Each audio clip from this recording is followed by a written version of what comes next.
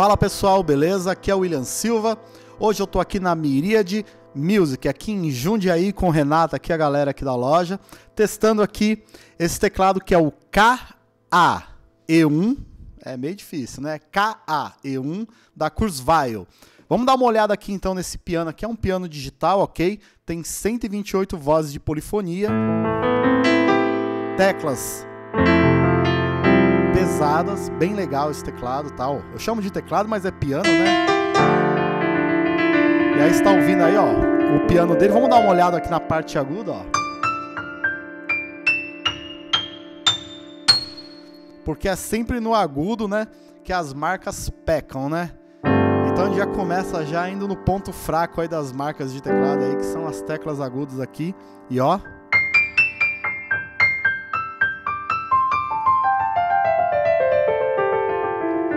tá respondendo muito bem. Beleza?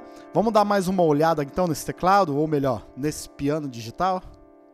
Então esse teclado aqui, é, ele tem 128 vozes de polifonia, ok? Então assim, se você for pensar para um teclado em que você vai fazer duas layers, né? Cara, 128 vozes de polifonia dá e sobra aí para você fazer um dual voice aí com string aí, sem faltar polifonia tranquilamente. Sobre as teclas desse teclado, ele tem teclas pesadas, tá? E é a tecnologia H1 Ivory da Kurzweil, ok? As teclas brancas, elas simulam marfim. E as teclas pretas, elas têm aqui as ranhuras, tá? Como se fosse madeira.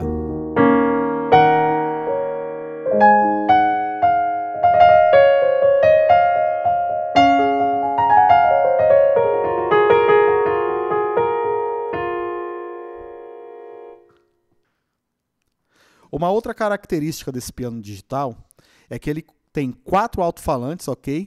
E no total ele tem 30 watts de potência. Então, é, como ele está ligado aqui, está saindo aqui então o som para a interface de áudio pela saída dele, ok? Main out.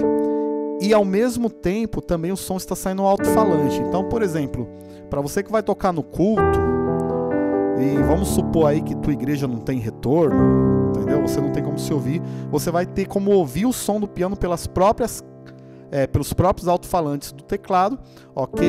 Ao mesmo tempo em que você manda o sinal para a mesa de som ou para o seu amplificador, para a sua caixa que você usa aí.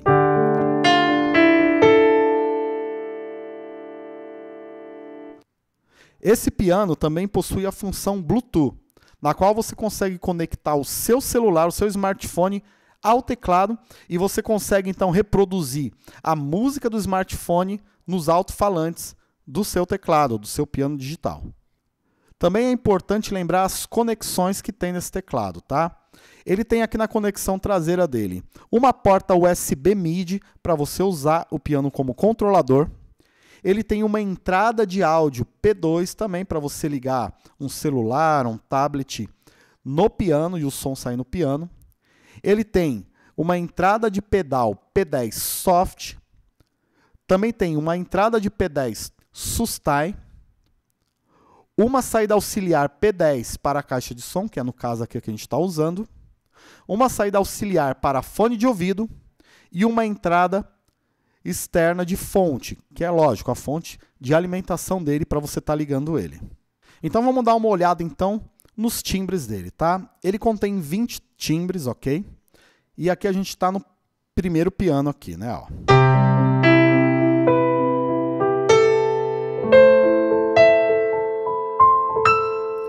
Aqui nós temos um reverb que você pode desligar e ligar. Ó. Vamos desligar ele. Ligado. Tem um chorus.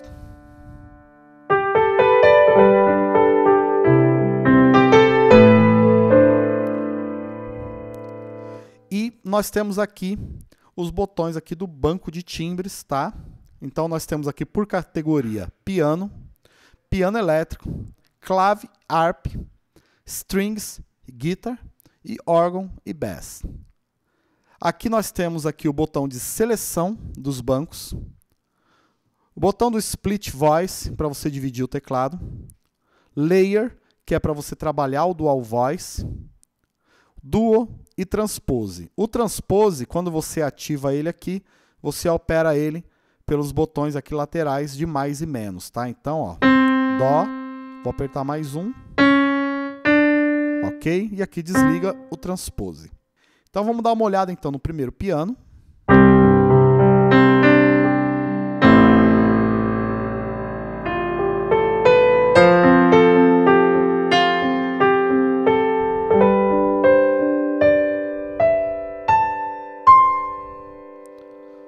Aqui o piano.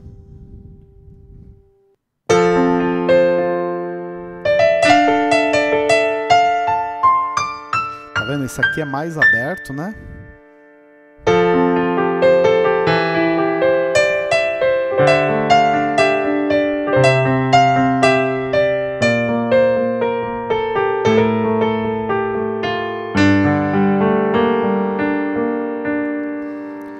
Você mudar o banco de pianos, você aperta aqui o botão Bank e ele vai para um outro banco de pianos, tá?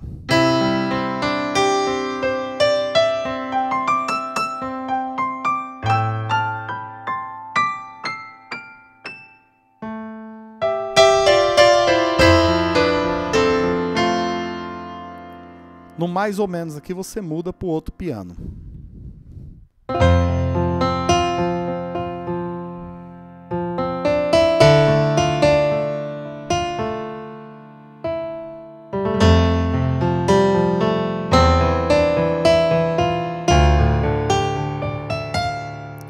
Ok? Então, vou sair aqui da função Bank e agora vamos para os pianos elétricos.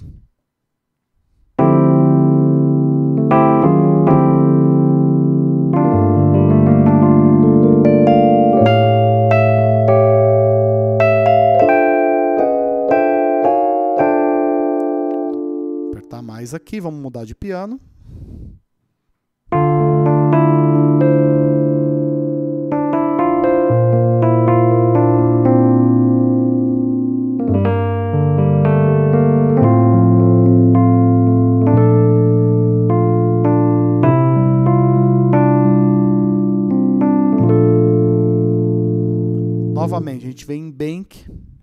Vamos para o outro banco.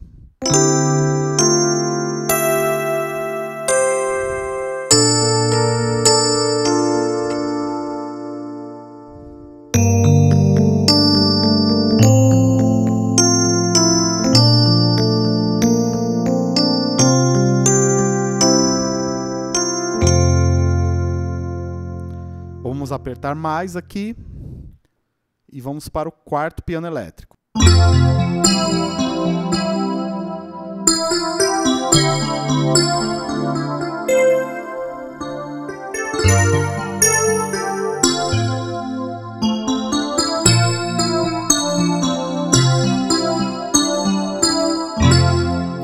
Uma coisa que é muito importante aqui a gente lembrar é que, ó, quando eu mudei o piano, ele já ativou o chorus e o reverb, tá? Vamos desligar o chorus para ver? Então dá aqui uma alteração no timbre, tá vendo?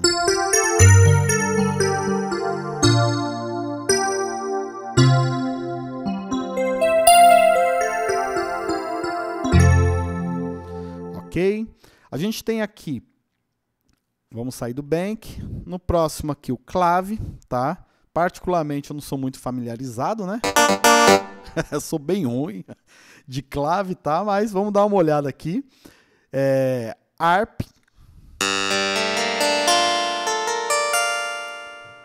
Se a gente vir aqui no, no, no bank aqui, a gente vai para o outro banco, né?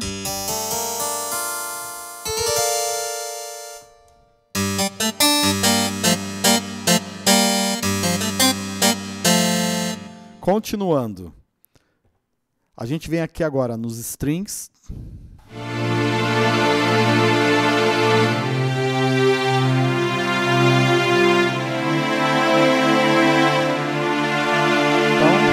Então, a gente aperta o menos aqui.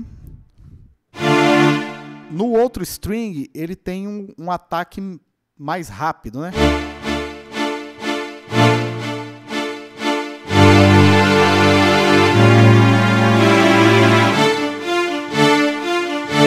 ok? Você vai ver que no primeiro string o ataque é mais lento.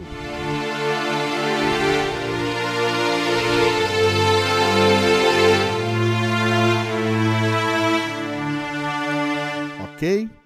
É, se você apertar Bank, a gente vai para o banco com as guitarras.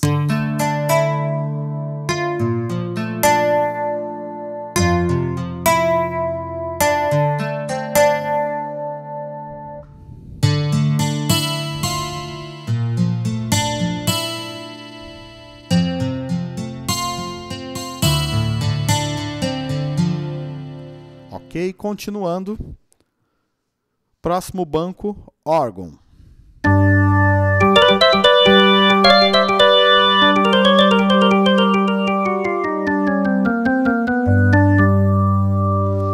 Mesmo esquema, se aperta o menos, vai para o próximo órgão.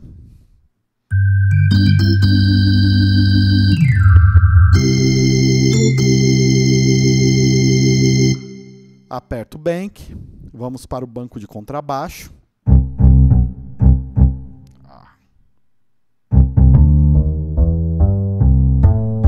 É um baixo acústico, né? E esse aqui é um baixo elétrico. ok?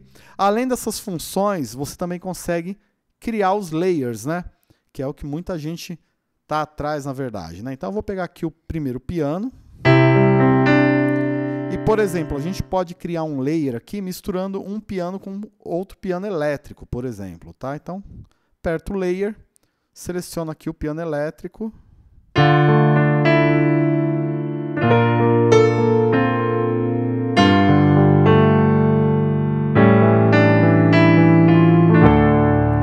posso selecionar um string.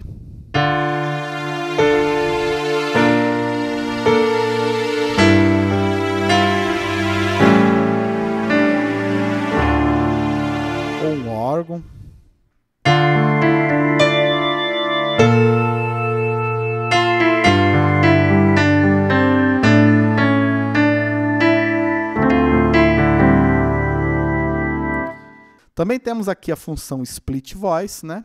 Então, deixa eu sair aqui do layer. Tá? E aí no split, vamos dar uma olhada como é que vai funcionar.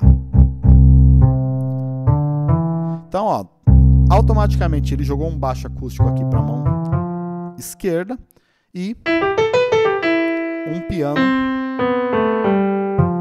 para a mão direita. Vamos ver aqui se a gente consegue definir a área do split. Quando você segura o split, e toca uma tecla, você seleciona a área que o split vai começar a atuar, tá? Então eu selecionei esse dó, soltei, então baixo está valendo daqui para baixo, ó, tá?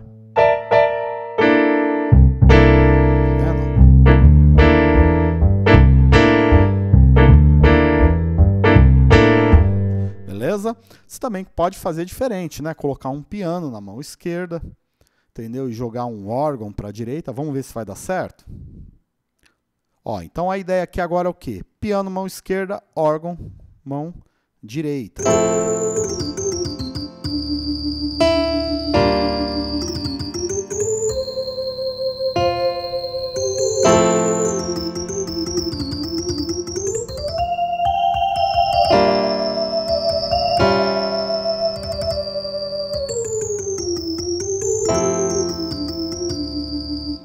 Poderia ser um piano elétrico também.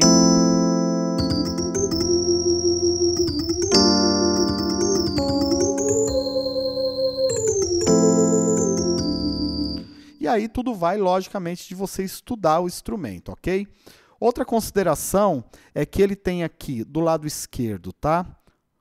Um fader aqui para você controlar o grave e o agudo, tá? Então vou sair aqui do split, voltar para o piano.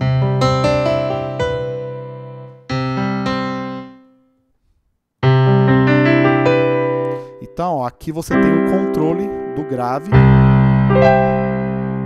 e do agudo. Posso tirar agudo, deixar o som mais fechado do piano.